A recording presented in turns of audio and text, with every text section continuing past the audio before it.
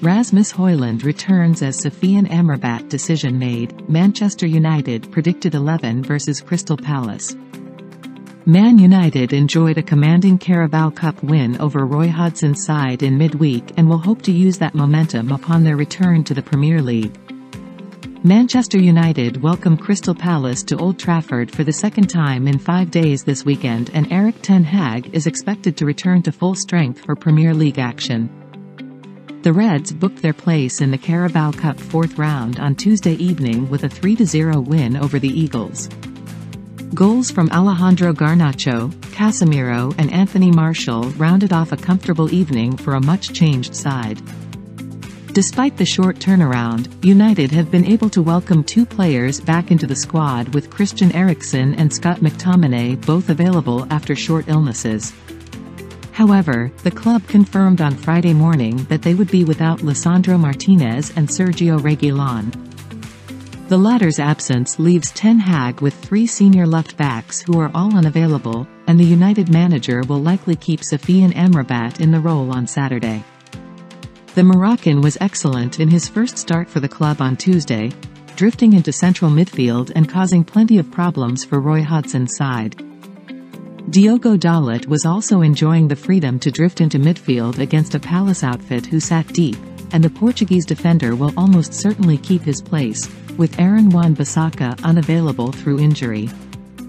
Rafael Varane got 61 minutes under his belt midweek and the 30-year-old will likely start again, this time alongside Victor Lindelof and in front of Andre Onana in goal. Mason Mount got 45 minutes on his return from injury before a planned substitution at halftime. The England international has been absent since the 2-0 defeat at Tottenham but arguably enjoyed his best performance in red midweek, finding the technical quality to match his energy. He will likely start alongside Casemiro and Bruno Fernandes and the midfield three that was overrun in that defeat to Spurs, albeit Ten Hag will hope his side can dominate possession and territory as they did in the Cup. Eriksen and McTominay will be fit enough for the bench.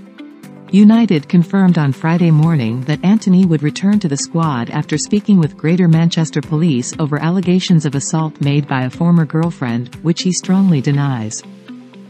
Ten Hag believes the Brazilian has maintained fitness levels but might be minded to keep Facundo Pellistri in the starting lineup, following an excellent performance midweek.